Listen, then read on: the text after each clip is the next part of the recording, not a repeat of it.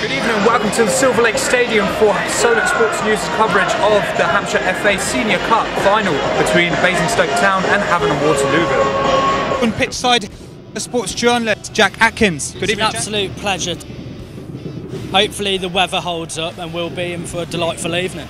Um, just tell me a little bit about this competition and why is it important for the two teams? After a relegation, new recruits and a change in coaching, the Solent women's rugby team are just about ready to embark on a new season. And I'm joined live in the studio with the current captain, Ellie Osborne.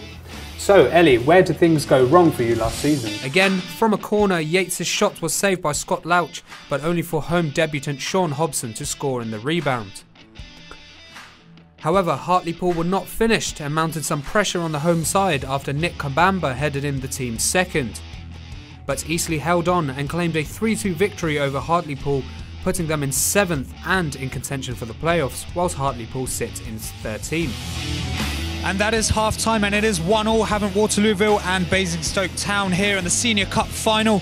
And uh, Jack, it was an eventful start to the game. Oh, it was indeed. The Solent men's hockey team are looking to bounce back after a defeat in the BUCS League.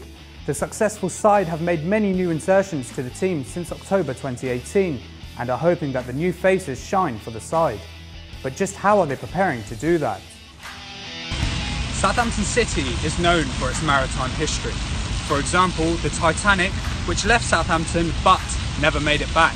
So what does that mean? Things or people that leave Southampton don't do very well? Well, this leads me to Ronald Koeman, who was earlier this week sacked by Everton. Now, we are in the town of Southampton, so I want to know what do the people think about this? And finally, Britain's tennis number one has won his first ever ATP title of his career. Kyle Edmund beat Gael Monfils of France 3 6 7 6 7 6 at the European Open final in Antwerp on Sunday.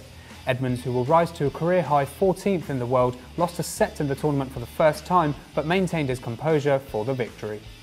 That's all we have time for, and we will be back next Monday for more of the biggest sporting news. As always, thank you for watching, and don't forget to follow our social media pages.